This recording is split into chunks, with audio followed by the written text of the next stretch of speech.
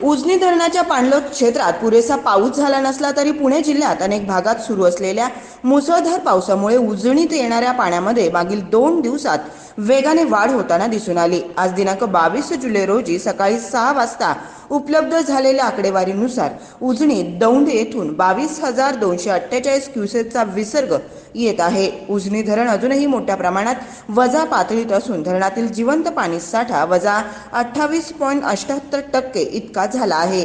पुणे जिल्ह्यात आजही हवामान विभागाचा पावसाचा रेड अलर्ट असून त्यामुळे पुढील दोन तीन दिवस उजनीत येणारा विसर्ग मोठ्या प्रमाणात वाढण्याची शक्यता वर्तवली जात आहे.